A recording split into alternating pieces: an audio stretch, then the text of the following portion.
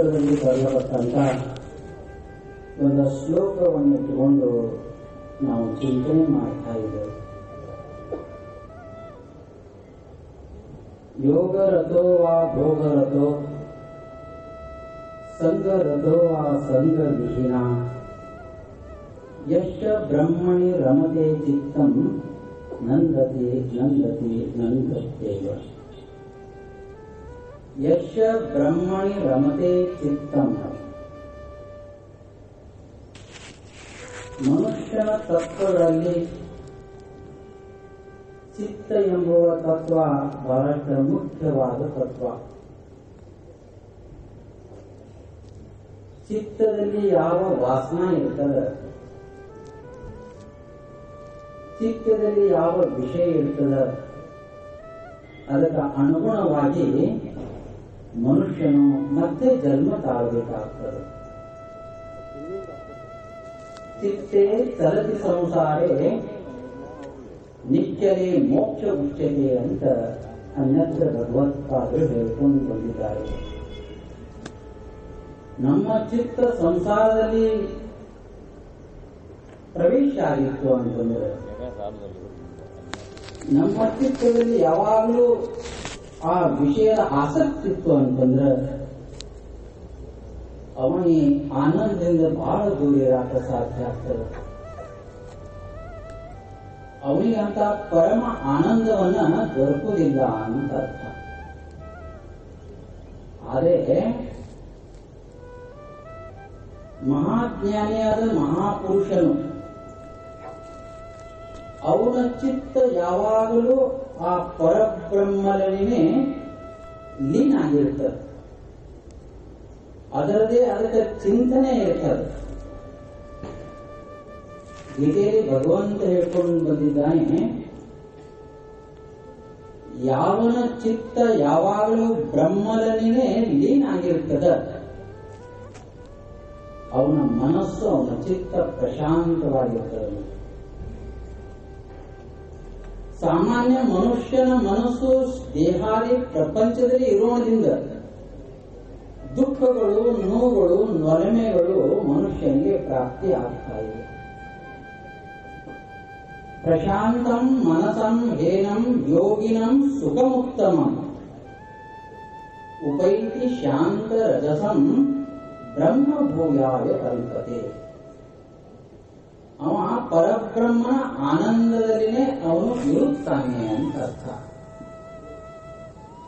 ಹಾಗಂತ ತಿಳ್ಕೊಂಡು ಒತ್ತಾಗಿ ಸುಮ್ಮನೆ ಕುಂತಿರ್ತಾನಂತ ಹಂಗರ್ತಲ್ಲ ಭೋಗರಥೋ ವಾ ಯೋಗರಥೋ. ಇವ ಅವ ಹಿಂಗೆ ಇರ್ಬೇಕಂತ ನಕಿ ವಿಧಿ ಹೈ, ನಕಿ ನಿಷೇಧ. ನಿಸ್ತ್ರೈ ಗುಣ್ಣೆ ಪತಿಚರತಾ ಕೋ ವಿಧಿ ಕೋ ನಿಷೇಧ ಈ ಮೂರು ಗುಣಾತೀತನಾದ ಮಹಾಪುರುಷನು ಅವನಲ್ಲಿ ಆನಂದದ ಸುಖದ ಖಣಿ ಇರ್ತದ ಅಂತ ಅರ್ಥ.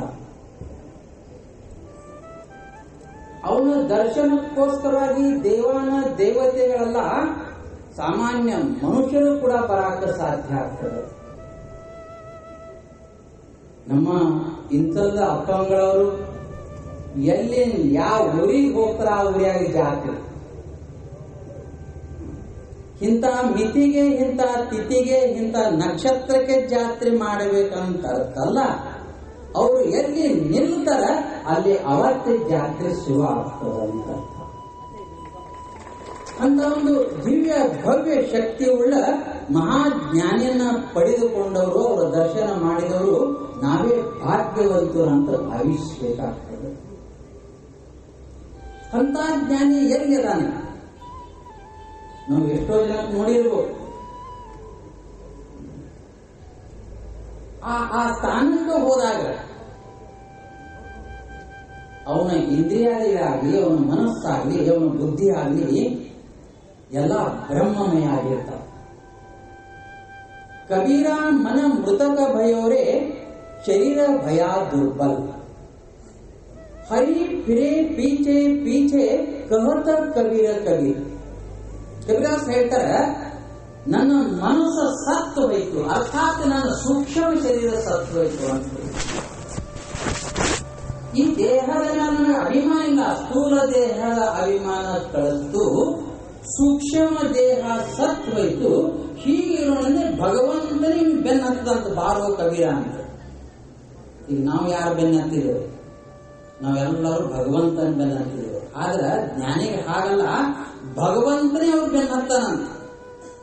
ತಾವು ಪ್ರತ್ಯಕ್ಷ ಉದಾಹರಣೆ, ಪ್ರತ್ಯಕ್ಷ ದೃಷ್ಟಾಂತವನ್ನ ತಾವೆಲ್ಲ ನೋಡಿದ್ರಿ ಅಗ್ನಿ ದೇವತೆ ದರ್ಶನಕ್ಕೆ ಬಂದು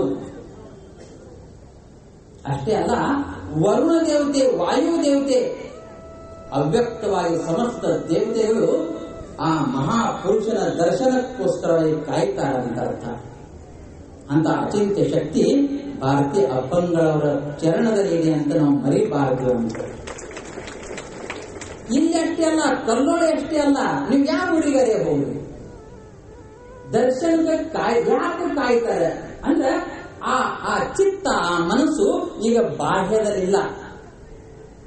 ಇದ್ದಂಗಾಗ್ಯದ. ತಮ್ಗ ಇಂಥ ಉದಾಹರಣೆ ಸ್ವಲ್ಪ ಬಹಳ ಸಲ ಕೇಳ್ತಾ ಇದ್ರಿ ನರ್ತಕಿ ನೃತ್ಯ ಮಾಡ್ತಾ ಇರ್ತಾಳ. ನರ್ತ ನೃತ್ಯ ಮಾಡಬೇಕಾದ್ರೆ ಪೆಟ್ಟಿಗಿದೆ, ತಬಲಾ ಇದೆ, ಮುಡ ಮುಡಲಂಗಿದೆ ರಾಜ ಅದನ್ನ ಪ್ರೇಕ್ಷಕರದಾರ.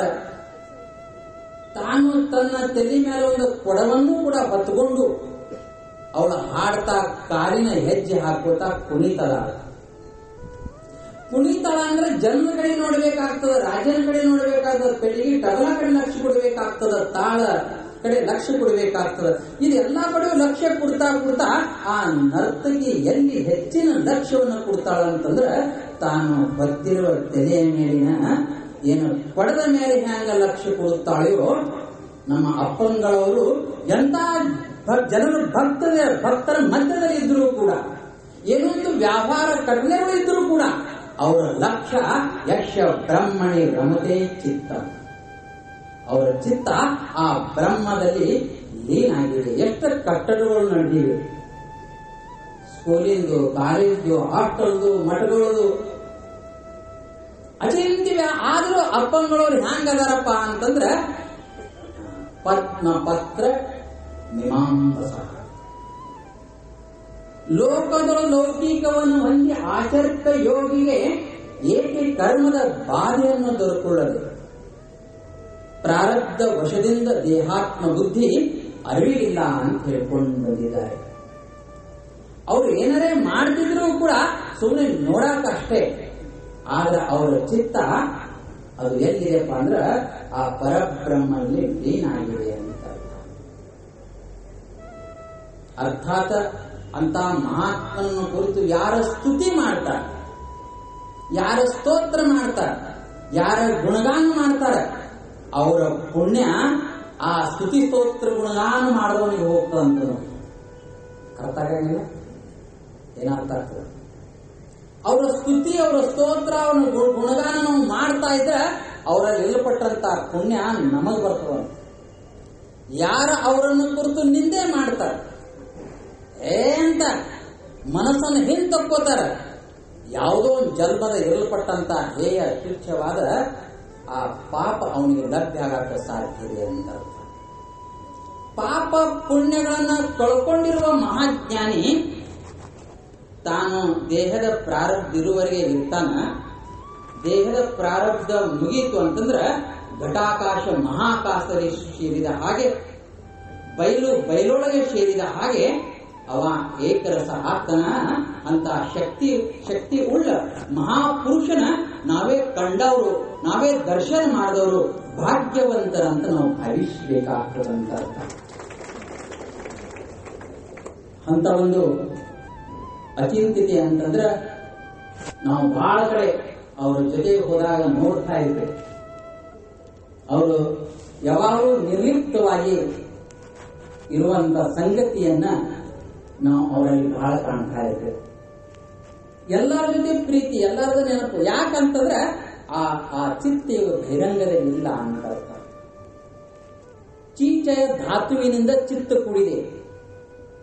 ಚೀಚೆಯ ಧಾತು ಏನ್ ಹೇಳ್ತದ ಅಂತಂದ್ರ ಚಯನ್ ಅಂದ್ರೆ ಹುಡುಕೋದು ಅದಕ್ಕೆ ಹೇಯ, ತುಚ್ಛ ಸಂಸ್ಕಾರ ಇತ್ತು ಅಂತಂದ್ರೆ ಅದನ್ನೇ ತನ್ನಲ್ಲಿ ಚಿತ್ತೆಂಬ ಪೆಟ್ಟಿಗೆಲ್ಲ ಸಂಗ್ರಹ ಆಗ್ತದೆ.